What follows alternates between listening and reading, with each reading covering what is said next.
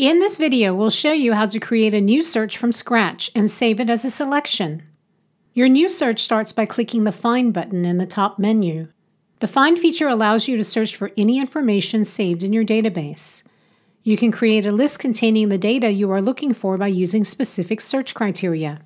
By saving search results as a selection, you're able to perform various actions, such as update information in your CRM solution, send a marketing mailing, or create follow up activities. To start a new search and create a selection, click on the Find button in the top menu. This is the Find screen. You can create a new search by clicking on any of the categories that you want to focus on. Or you can use one of our many typical predefined searches. Each category has its own set of typical searches.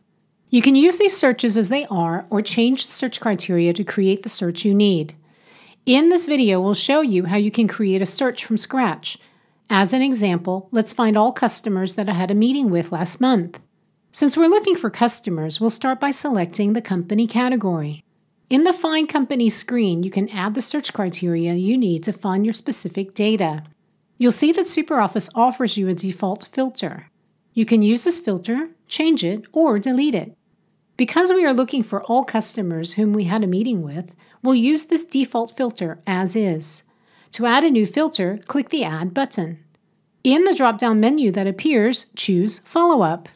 This will open the drop-down list of all the fields available for an activity or an appointment. Scroll down to find the field called Type.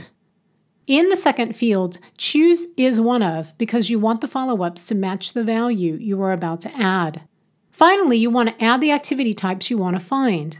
Click on the third field and choose Meeting, Internal, and Meeting External from the drop down menu.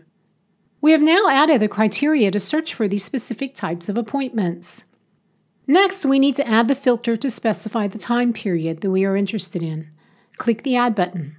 In the drop down menu, choose Follow Up.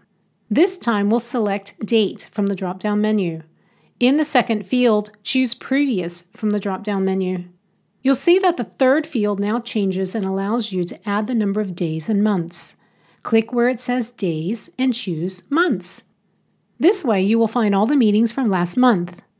The search is now ready. Press Find in the bottom right corner to see your results. The results screen shows all the customers I had booked a meeting with last month. When you click on any of the meetings that you found, the preview screen in the side panel will give you additional information about this customer. If this is a list you want to reuse later, you can save this search as either a dynamic or a static selection. A dynamic selection is always up to date. Any entry in your database that matches your search criteria is automatically added to your selection.